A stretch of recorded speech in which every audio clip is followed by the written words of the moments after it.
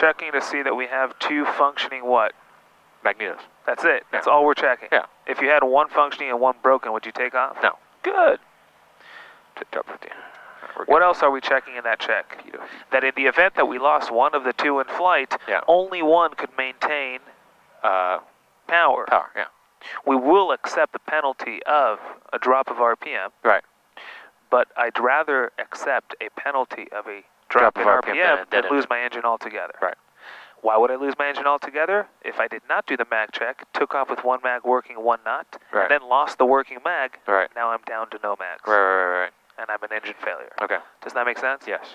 So in the mag check during the run-up, Yeah. we're checking two things. One, that we have two operating magnetos, Yeah. And then one but that two is that in the event that we lost one, it can operate their engine. It could, continue, it continue still to maintain power, right? maintain power. Yep. Easy? Mm -hmm. Solid? Yep. Simple? Yes. Good work.